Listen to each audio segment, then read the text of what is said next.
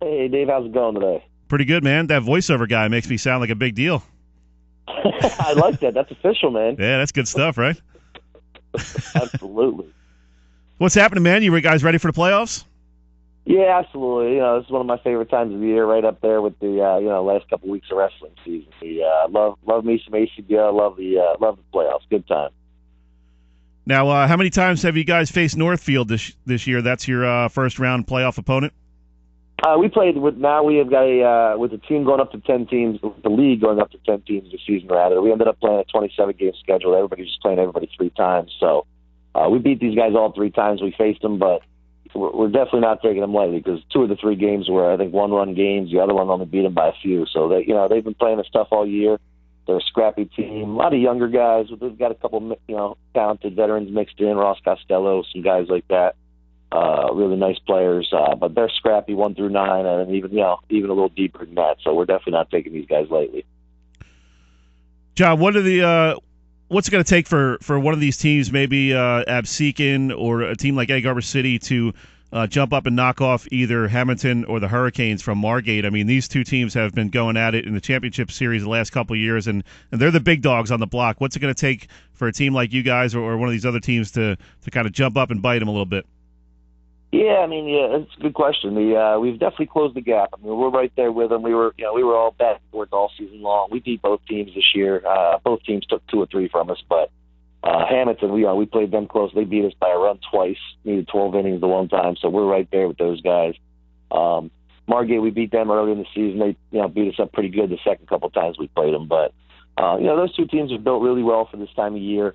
Uh, we go to a best of three playoffs, uh, first two rounds, and then best of five in the final. So they're built really well in terms of, uh, you know, pitching is so important, and, and veteran pitching is so important.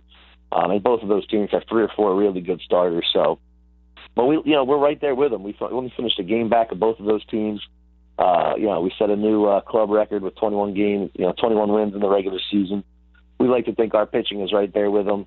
Uh, unfortunately, I got one or two guys that are uh, you know kind of shut down for the season in terms of uh, college coaches uh, wanting to take it easy on innings limits and things like that. But but even with that being said, we, we've got some talented pitching, and you know our offense is you know maybe the best in the league, one of the best in the league, if not.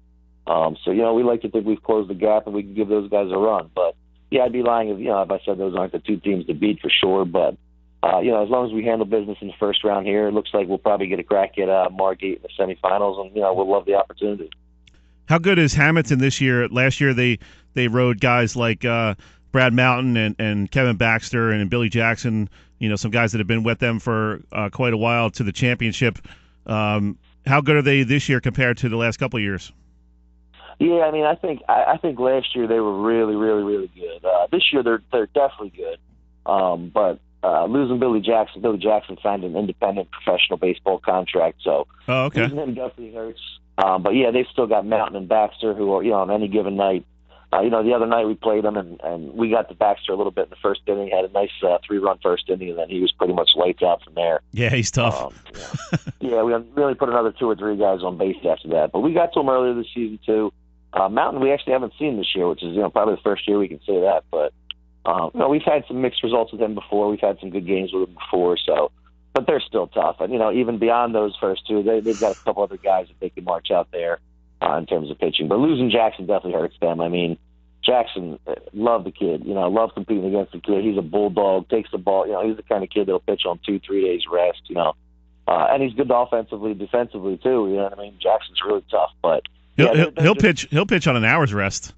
I was going to say, Jackson is the kind of kid that'll pitch both games with a doubleheader. right. Just, that kid will just keep pitching and pitching and pitching, takes the ball, works quick, pounds the zone. Everything he throws is, is hard and heavy, and you know, he's a heck of a talented kid. But you know that takes nothing away from those guys because I'll, I, you know, I'd still take Brad Mountain and Kevin Baxter at the top of the rotation on any given day too. Yeah, those are those aren't bad options. yeah, exactly. And and people forget too they lost Trevor Rosenberg too, who uh, actually enlisted so I mean that's another big arm that they've had dominating for them over the last five uh, five to ten years. So, um, but still they still probably have the best pitching rotation in the league. I mean, as good as Margate is, you know, and they've got some stud pitchers too. Uh, Lou Pepper and Downey and uh, Lenko give them heck of a top three. But I mean, Hamilton's pitching staff might even be a little, you know, just a little bit of an edge there pitching wise. John, I just got a text from uh, Dave Deaney dad of Mike Deaney. He said, "Go Absecon." So we, you got some fans out there listening. Ah, very nice, very nice. Yeah, Mikey D is going to be uh, what a heck of a pitcher. He's the one that took down Margate earlier this year, Mikey Deaney. Uh, heck of a pitcher from Holy Spirit, having a nice career up there at uh, Gwynedd Mercy after a couple years here. Um, yeah, I'd love to have Mikey D. Unfortunately, he shut it down for the summer in terms of his college coach, and he threw a lot of innings this year, going from his freshman to his sophomore year. Then went down to Myrtle Beach and Right. played in a nice, uh, nice big league down there too. But you know, but that's the nature of this stuff, and we can definitely appreciate that. College, you know, college definitely comes first. I always joke around with my guys; they could throw out their arms after college and pro days and things like that. yeah. That was the old Mike Isgro played for me for a lot of years. The old Cedar Creek coach, Absegami High School standout, went up to Delval, did great things. Uh, you know, I used to joke around that we're going to start him every Monday and Friday as soon as he was done his playing career.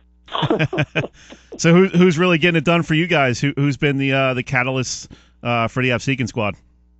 Well, I'll tell you, this is probably the you know maybe the best defense we've ever had defensively. We're we're really strong, two or three deep at catcher, middle infield's you know one of the best in the league, uh, and we're three, four, five deep there too with Joe Perez, Anthony Cucuzza, C.J. Lafagola.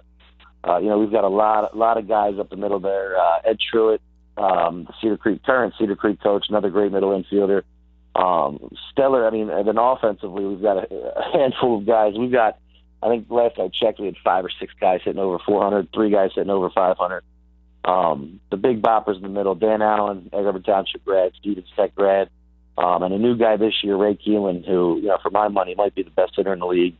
Um, he's a Southern Regional grad, went to Caldwell. Um, he's, uh, I think he's got six or seven home runs, uh, and, and you know, he's batting over 600, on base over 700. Um, lefty just doesn't, you know, and the tough thing about him is he's got no weak spots. Know, I keep hearing kids say pitch him outside, pitch him outside, and then he rips one down the uh, left field line. He's just powered off field, heck of a hitter. And then I've got guys like Anthony Cucuzza, you know, St. Augustine Prep, Seeking, you know, Seeking resident, uh, you know, setting the table along with uh, C.J. Lafagola, you know, right on down the line. You know, a couple great catchers, and uh, Stephen Hula, Jimmy Versage, uh, you know, Matty Branco, another scrappy player that, that's doing really well for us. Matty Allen, you know, our ace pitcher coming into the playoffs here. Uh, you know, and I could go on and on and on. We've got we've got a really nice thing going defensively and offensively. You know, if we get some good pitching here, then we're going to be in good shape. Hey, if you if you need a fill in second baseman, man, you got my number. I like it. I like. I, don't- I don't know if I can hit 90 anymore though. that, I don't know if I can hit that kind of pitching anymore. Yeah, and you know it's funny because this time of year we see it too. You know, during the year, you know, you see a lot of great pitching, but you know, with three and four game weeks, especially once you get a rain out and get into those four and five game weeks, sometimes you know, every once in a while you'll catch a guy who's you know, uh, you know, I don't want to disrespect anybody, but you'll see an arm that's you know, not not so so special kind of thing. This time of year, everybody's throwing their best. Everybody's up there, you know, at least mid 80s and things like that, pounding the zone, good stuff, experienced pitchers. So it's a fun time of year. I mean, you're definitely not going to get any freebies this time of year. Yeah, it's funny. I was out at the championship game last year, uh, Hamilton versus Margate Hurricanes, and uh, you know, watching watching Downey and, and Baxter go at it, and I was thinking to myself, uh, I'd I'd have trouble with these guys 20 years ago. Yeah, now, now forget about it. Yeah, it's funny. I haven't I haven't faced either one of those guys, but Downey Downey really throws hard. He pounds He does. And, uh, Baxter might not throw as hard. I, I don't know. He might, but he just looks like everything he throws is heavy as heck. I mean, he just everything he throws is just man. He pounds that zone too. Those guys are those guys are both fun to watch. And the uh, the Cox kid from Millville, I think the year before, he he had to have been touching 92, 93 that game. Yeah, Big Aaron. Yeah, you know he's obviously doing pretty well in the Angels organization now. Yeah, he was definitely. Plus the kid's about seven foot six, so you know he, he jumps off the mound. You know, I mean he's six four, six five, whatever it is. But he he was another one. He threw hard and heavy. Plus he he mixed up three or four pitches too, he, and had command of all of them. He was really tough. Uh, he was nasty. He was. He might have been the best pitcher in the, in the league that year. He was just he was filthy. We're talking with John O'Kane, coach of the Absecon team in the ACBL. Uh, John, how cool is it uh, for some of these high school kids to get a look at, at what the next level's like, both in college and some of these guys who really had success in college and are now in their in their mid twenties and still playing well? Uh, I I would assume you'd encourage any high school player to get out there and watch some of these playoff series. It's huge. You know, it's funny. Like our last game of the uh, the year the other night, we were playing the Green Wave, who, you know, God bless Dave Housel. Dave Housel's a great guy, classy dude. Uh, he's doing a great job with those guys. I know they took their lumps this year. I think they ended up squeezing into the playoffs though in their first year in the league. Um, he's got a scrappy, scrappy group of kids, but you know, the last week of the season, he lost three of his top four pitchers. The uh, Ryan Kulik, who I don't know, you know, a lot of people might around here might not know, but he was an absolute stud at uh, Rowan University. Won his last 15 or 16 starts or something like that of his college career. Then got as high as AAA with the uh, St. Louis Cardinals after getting drafted. Um, he was lights out, but just you know, he got the phone call the other day and signed a uh, pro contract with the Sussex Skyhawks up north. Uh, then he had another injury issue with his top guy, another one of his top guys. So you know they're heading into the playoffs with tough pitching, but you know they they've got a lot of scrappy young players, and it's funny because we were you know we had a good game the other day. Actually, offensively we kind of exploded. I put up 18 runs, but uh, funny story. Dave Housel put himself into pitch, and Dave himself was you know played you know pro baseball for seven, eight, nine years, whatever it was. Had a nice career, heck of a ball player, switch hitter, you know, power from both sides, and uh my little brother, who doesn't get to play all that much. You know, he's a, he's a freshman college, didn't play a whole lot in high school or anything like that, but he had the chance. Dave put himself into pitch, and my little brother uh, Tommy O'Kane had the chance to uh, get a little bat off him. And I and he told me after the game he was he was dying to get. You know, he ended up dribbling a little nothing in front of the mound, but um, he was dying to get a hit just so he could say he got a hit off a guy that used to play pro ball. Like that, that is kind of what it is. Like, and Housel was telling me the same thing. At one point this year, in 15 straight games, he's got mostly high school kids, couple couple got college guys, but mostly high school kids. And he said at one point this year they had 15, 16 straight games where they faced nothing but college level pitching. I mean, you, you can't go anywhere else to get that kind of competition. I mean, and then you mix in a guy like you know Lou Pepper, who was another big time college guy a few years ago. You know, uh, uh, Jared Lenko, you know, big time college guy. Jason Downey was shutting things down at Rutgers a few years ago. Brad Mountain pitched professionally for a couple years. I mean, you know, you mix that into some top Division One, two, and three arms. You know, it's it's a really great league. It really is. A lot of great pitching, a lot of great stuff. But that is the fun dynamic too. You know, some of these guys get to face some of these former pros and you know guys that they've been reading about in high school and college, and you know former standouts, and now they're kind of trying to make their name, and you know, it's it is fun to watch. Good stuff, Oak. We're up against the break. Got to let you go, but uh, good luck this week in the playoffs with the Absecon, and you guys are taking on Northfield starting Monday. So uh, good luck to your boys. Absolutely. Thank you kindly, Dave. We're going to have to get you on the roster one of these years for that. Maybe the uh, the old timers game. Midsummer Classic. I like it. There you go. Thanks, Oak. Appreciate it, man. Have a good weekend. Thanks, Take care. Have a great one. All right, that was John O'Kane from